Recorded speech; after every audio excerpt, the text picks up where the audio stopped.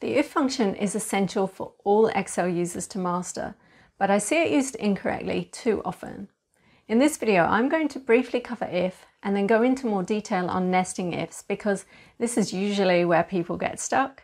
And I'll also cover the newer ifs function for those with Excel 2019 or later, or those with a Microsoft 365 license.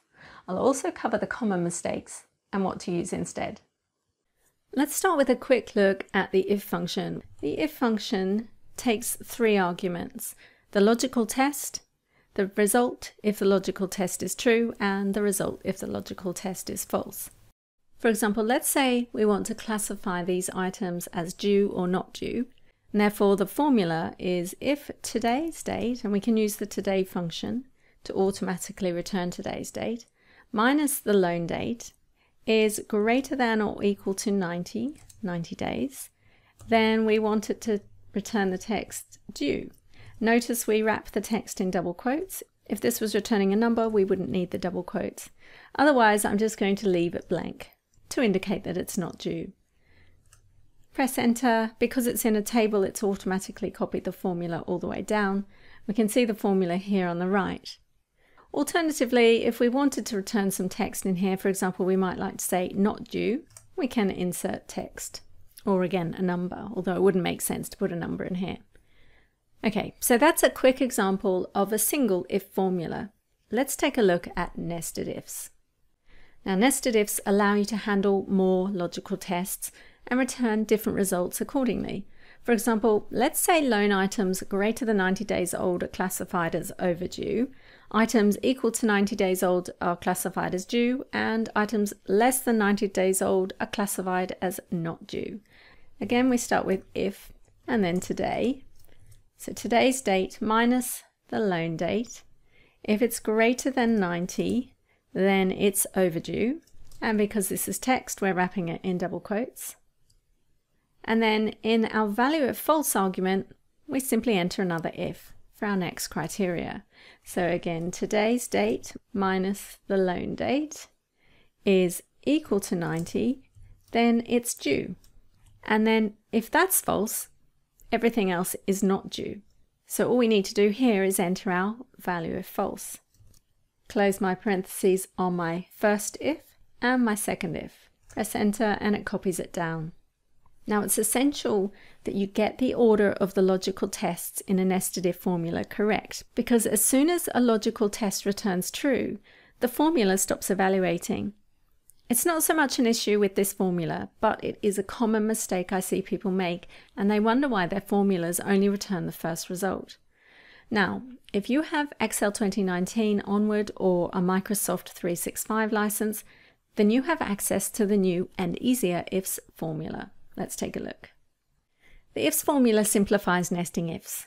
For example, we can write exactly the same formula in groups of logical tests and then the result if true.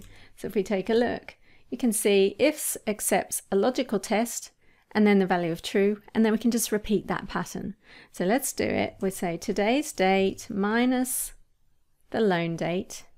If it's greater than 90, then the value of true is overdue. And then we just enter our next logical test. So again, today minus the loan date is equal to 90, then it's due.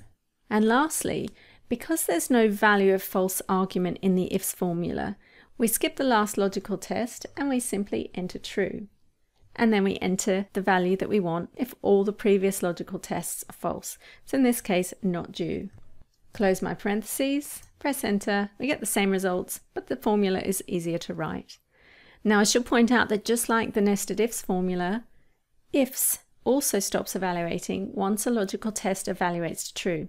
So remember to get your logical tests in the correct order.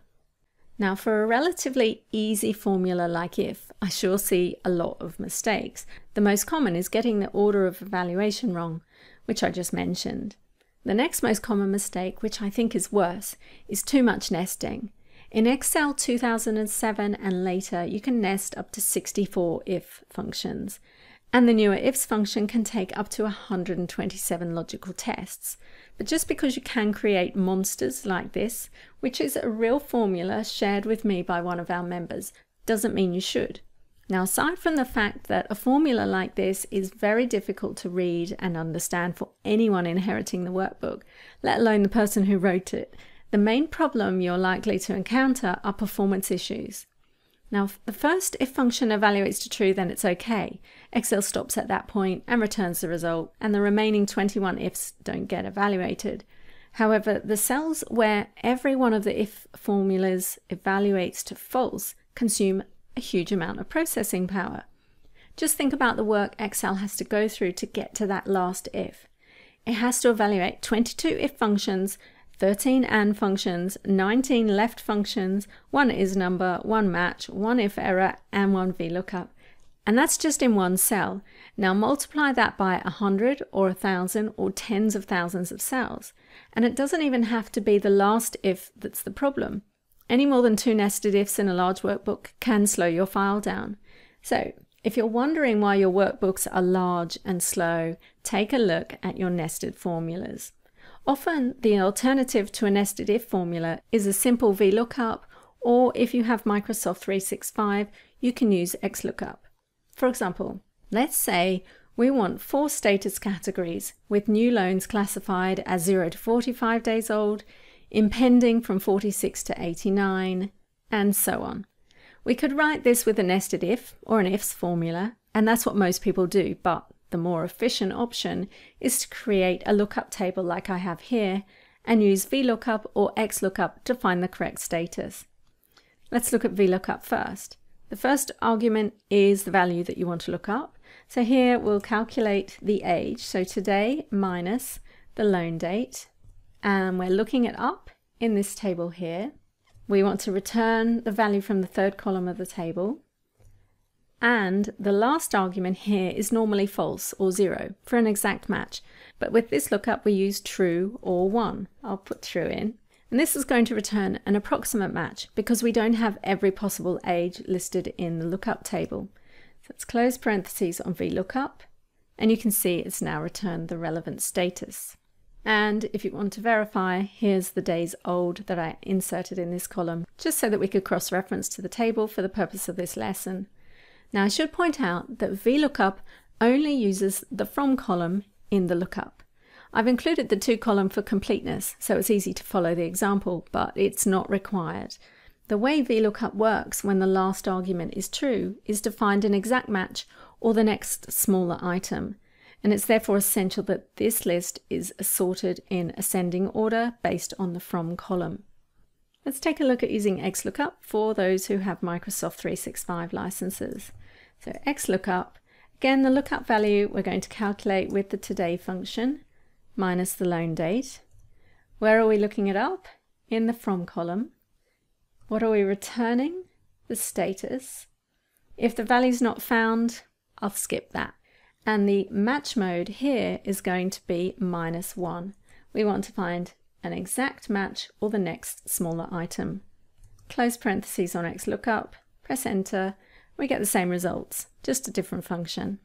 Again, with XLOOKUP, the lookup table must be sorted in ascending order to use the match mode minus one that we have here. I hope you found these functions useful.